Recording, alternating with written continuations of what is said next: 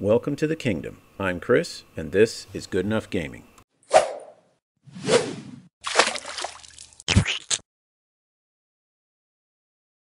Hello everyone, and welcome to this painting tutorial where I'm going to be painting a Tyranid warrior in the Behemoth Hive Fleet scheme. A buddy of mine wanted me to paint up a couple for his kill team, and so I figured why not make a video out of it.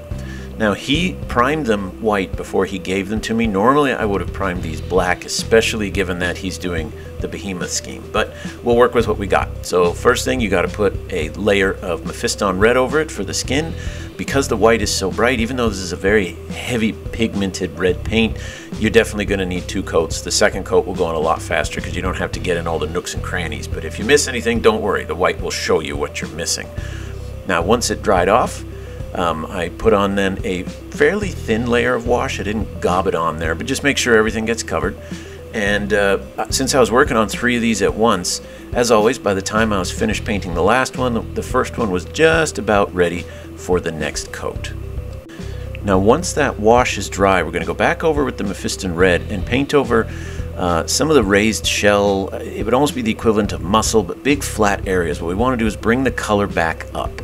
Um, this is already going to be fairly dark, and so we want to return some of that red so that when we add the highlights, they won't look quite so, so bright and out of place. So all the big areas that are going to get lots of light on, on the tail, the, the arms, um, the rear leg muscles, all that stuff go back over with the Mephiston. Now we're going to use Evil Sunz Scarlet for our first bit of highlighting, and you don't have to do a lot, just on the edges of the chitin, on the raised knuckles, on any area that really sticks up. So there, there's that, that hip bone, but uh, I don't think I put any on the, the lower part of the leg.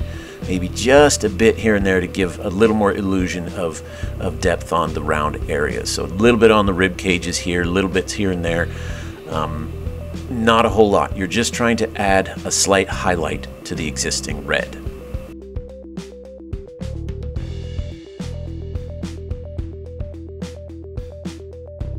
Now for the very, very last bit of our highlighting with the red, we're going to use Fire Dragon Bright and even more sparing than the previous color. So just little dots at the height of edges, at the tops of round areas, at, you know, anywhere where you have uh, the highest raised areas. So you're not going to be using a whole lot of this, just a dot here or there. It's almost like the effect when you're painting metal the one point where the light really beams off. That single dot that you usually paint white on armor or something like that. That's what we're doing here.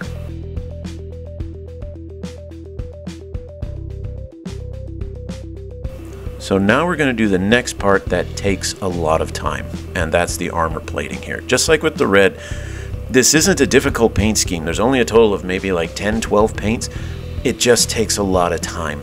And so this is why normally I would have preferred to prime this model in black from the start because when you get to this part you're just having to tidy up any areas where the red spilled over. But because it was based in white, I had to do I think two and almost three coats just to get this black to cover over all of that under white on the weapons, on the armor, all of that. Now I'm using the Vallejo black. It's a very, very flat matte black. Flat, matte, it's one of the two. It's not like uh, Abaddon Black, which is very shiny. So you may want that because it gives a little bit more of an organic look to it. But two coats and you'll have it on there. So while I'm waiting for it to finish dry here, I'm going to grab some purple real quick. You could also grab like a magenta, but not a red because you got enough red. And we'll paint the tongue. Now once the tongue is done, here's the next part that takes a lot of time. Just be patient. Find a video to watch, talk with some friends on the phone, listen to a book uh, like I said, this is not a difficult scheme, it's just a tedious, time consuming one. So if you find something else to do, it'll go a lot faster. So we're going to get some Stegadon Scale Green and we're going to paint lines perpendicular to the edge of the chitin. And if you'll, you'll look there, just hashes, different sizes, slightly different thicknesses. Don't go too fast because you'll start missing them, but don't go too slow and paint a big solid line. Um, you'll get into a nice rhythm and you're kind of edge highlighting, but you want it to be a very chopped up highlight. And that gives that the illusion that this armor is growing unevenly. It's not supposed to be smooth and sleek. It's supposed to be very, very rough. So just make sure that your brush is typically perpendicular to the edge that you're painting. Nice lines, some taller, some thinner, some fatter. So you can see when I'm all done, it's very, very subtle, but it is there, and it's starting to separate the black from each layer of the armor. So now we come back and we add a little bit more uh, of a, a, highlight to it. This time I decided to use Thunderhawk Blue. Um, I know the official GW paint scheme uses, I think it's Sotek Green. Uh, for me, that was really bright. I know some people might like that really strong turquoise contrast with the bright red, but I wanted the red to be the thing that sticks out the most. So I decided for the second layer of highlight to use Thunderhawk Blue. Do the same thing you did with the Stegadon Scale Green, just don't completely cover that previous layer. So make the lines a little further apart, make them a little thinner. You should see all three colors if you look very closely. The black, then the Stegadon Scale Green, then the Thunderhawk Blue. And that will give you this nice fading color that will give the armor the look, again, that it's rough, that it's cracking, that it's splitting, and that it's not growing perfectly even all over the body.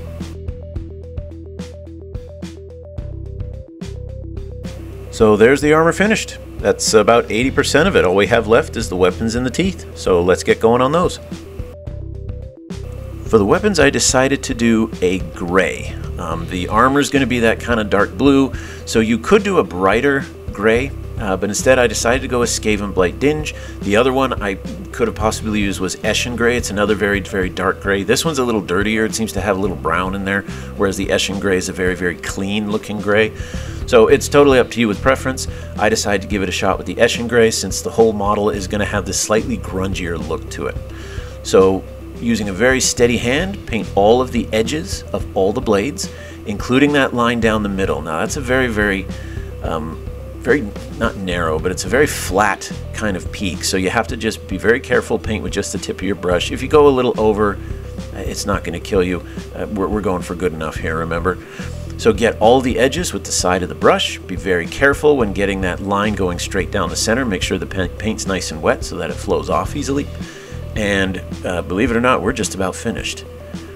Because once we finish with that layer of Skavenblight Dinge, we move on to the highlight of Dawnstone. And for this one, we're only going to highlight the sharpest edges or the edges that are on top.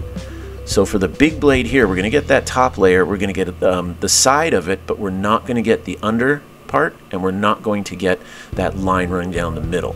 So when it's all done, it will give more of this three-dimensional effect that the blade is very sharp in some areas and a little more dull in others. So this whole model took me about an hour to do the whole thing. If you count drying time, maybe a bit, little bit longer, but since I was batch painting, I was still productive during that dry time. So it's quick, it's easy, just find something to do to make the time go by faster. And last of all, Rakarth's flesh for the teeth. If you wanted, you could go back over um, with a color like a, a bone color or a lighter ivory to highlight the teeth, but otherwise you could just leave it. And as you can see, it's good enough.